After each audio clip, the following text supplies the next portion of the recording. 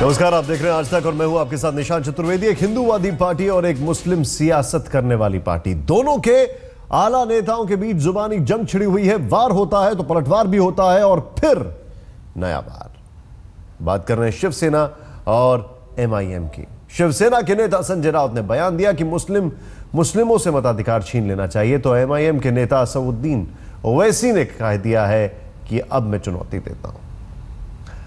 फिर संजय राउत ने कश्मीरी पंडितों की बात छेड़ी और कहा कि हिंदू मताधिकार को लेकर कोई बात क्यों नहीं करता? देखिए सबसे पहले यह है कि मुझे पूरा यकीन है कि कोई कार्रवाई नहीं होगी उनके ऊपर। क्योंकि मेरा मानना यह है कि कानून का जो इस्तेमाल होता है या इतलाक जो होता है वो बड़ा सेलेक्टिव होता है। और जो मैं इस बात का मुतालबा कर रहा हूँ इस, इस, इस बुनियाद पर कर रहा हूँ कि अभी भी मुंबई में इलेक्शन कमीशन ऑफ़ इंडिया का मॉडल कोड ऑफ़ कंडक्ट लागू है। और मैं इस बुनियाद पर कह रहा हूँ कि अगर कोई ये कहता है कि कॉन्स्टिट्यूशन राइट्स जो मुझे मिले हैं वोट डालने के मुस्लिम्स को मुझे उससे महरूम कर दिया जाए। इसलिए कि ये बताना क्या चाह रहे हैं कि मैं हिंदुस्तान का शहरी नहीं हूँ। वोट कौन नहीं डाल सकता जो इंडिया का सिटीजन नहीं है? तो क्या कॉन्स्टिट्यूशन के ऊपर उंगलियाँ उठाना कॉन्स्टिट्यूशन की धज्जियाँ उड़ाना ये पागलपन नहीं है तो क्या बोलेंगे इसको आप? होने दो गिरफ्तारी, उसमें क्या है? मैंने क्या गलत बयान किया है? ये गिरफ्तारी या कार्रवाई या हमारी सदस्यता पार्लियामेंट की ख़त्म करो, क्या हम सत्ता के लिए पैदा हुए हैं क्या? हम, बाला साहब ने हमको सिखाया है, हम सत्ता के लिए नहीं पैदा हुए हैं, सत्ता हमारे लिए है।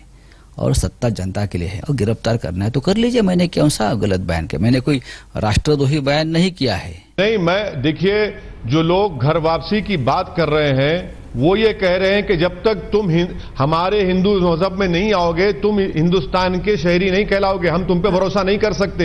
हाँ। यही बात गोलवालकर ने अपनी किताब वी आवर नेशन डिफाइंड में की थी मुसलमान और क्रिश्चियंस के बारे में।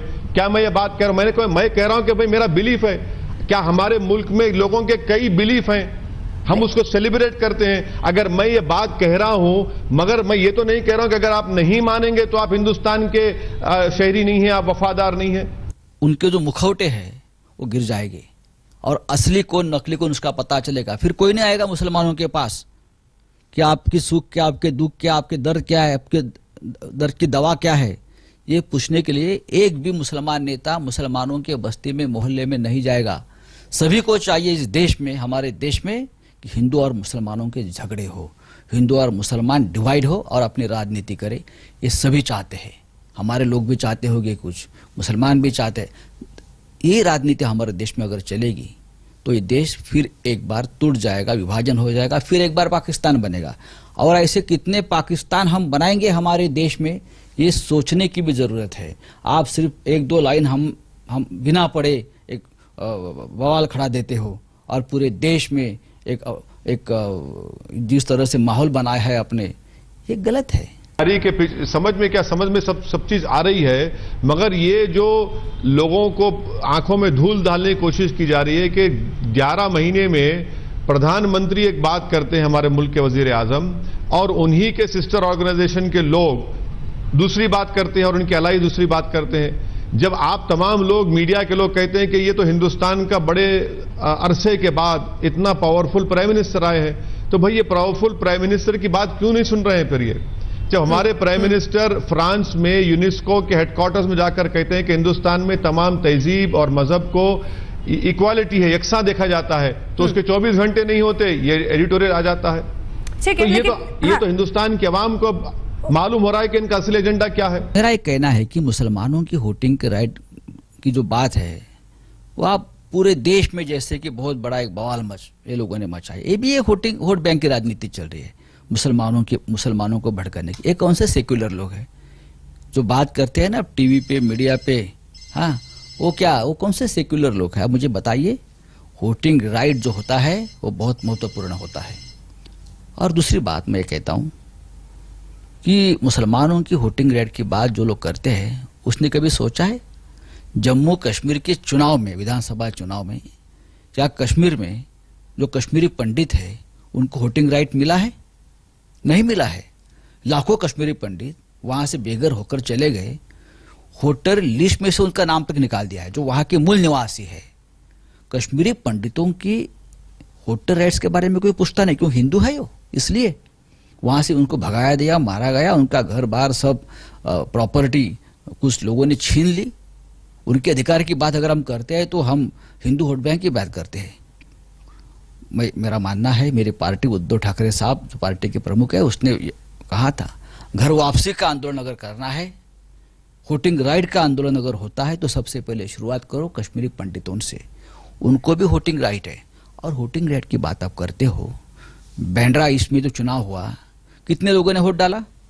Thirty two thirty eight percent लोगों ने सिर्फ़ वोट डाला है। तो जो सिक्सटी टू परसेंट लोग हैं उसने वोट नहीं डाला है। तो क्या होता है? भाई पचास परसेंट से भी ज़्यादा लोग वोट नहीं डालते हमारे यहाँ। और कौन से वोटिंग राइट की बात करते हैं?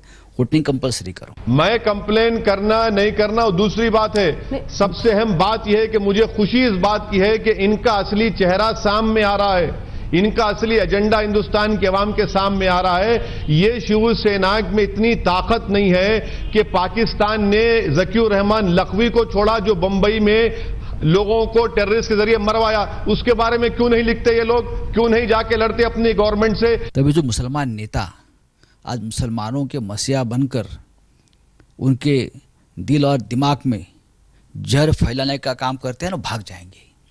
क्योंकि मुसलमानों के पास वोटिंग राइट नहीं रहेगा तो ये क्या दलाली करेंगे, क्या सौदेबाजी करेंगे? मुसलमानों की हालत आप देखिए। जो गरीब मुसलमान है, उसकी हालत पचास साठ साल में सुधरी नहीं है, उसके लिए जिम्मेदार कौन है? ये नेता ही है ना। ये जो ओबीसी है ओबीसी ब्रदर्स है, वो अब मुंबई में आए थे चुनाव प्रचार में बैंड्रा ईस्ट में। बेरामपाड़ा भारत नगर जैसे इलाके में गए। आपने देखा जाके कभी इलाका? आप पहली बार गए हैं। वहाँ ये जो पानी वगैरह देने का काम तो मुंबई महानगर पालिका करती है। इलीगल है पूरा वो आप वापस कब आएँगे? जब दूसरे चुनाव को आ जाएँगे आप। चुनाव में हार जीत के बाद ना ओबीसी ब्रदर्स आएँगे, ना और कोई आएगा उधर। वो अपने हालत ऐसे ही जो ज़िंदगी जीते हैं, नरक की, उसमें वो लोग जीते रहेंगे, सालों साल से। दो तीन पीढ़ियाँ हम देख रहे हैं, ऐसे ही है। ना उनको घर मिला है, ना नौकरी मिला है, ना उसको शिक्षा मिली है। तो इसलिए ये वोट बैंक की राजनीति अगर खत्म होती है हमारे देश से, तभी मुसलमानों को आर्थिक विकास, सामाजिक विकास अच्छी तरह से होगा। जहाँ तक मुसलमानों का आज जो पोजीशन है पॉलिटिकली सोशली एजुकेशनली यकीनन मुसलमान इसके जिम्मेदार हैं।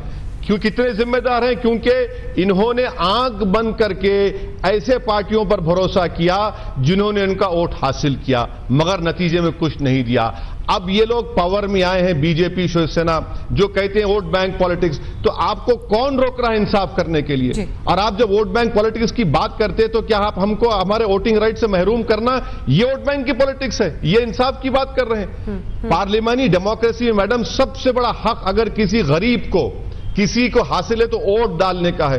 वो अपने पसंद और नापसंद का इजहार पोलिंग के दिन करता है। वो मुझे उससे महरूम करना चाह रहे क्या नीयत है इनकी? मैंने एक सुझाव दिया है। वो सुझाव भी हमारा नहीं है। पंद्रह साल पहले बाला साहब ठाकरे जी ने ये भूमिका लोगों के सामने लाई थी। ये वोट बैंक का जो तुष्टिकरण चल रहा है, मुस्लिम वोट बैंक का, कभी ना कभी खत्म होना चाहिए। उससे मुसलमानों को ही फ़ायदा है।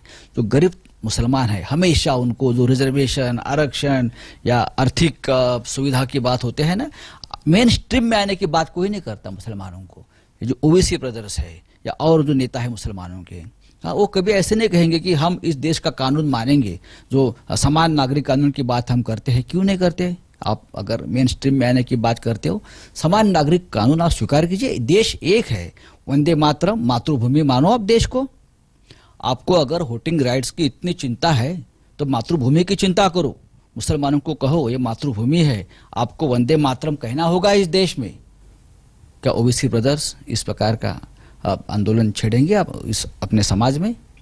मैं मानता हूँ, अगर मुसलमानों को हमारे साथ रहना है, इस देश में मजबूती से रहना है, इस देश वो अपना मानते हैं तो ये ओबीसी या अबू हजमी या मुलायम सिंह यादव, ये जो या मुख्तार अंसारी, इस नेताओं की ज़रूरत नहीं है।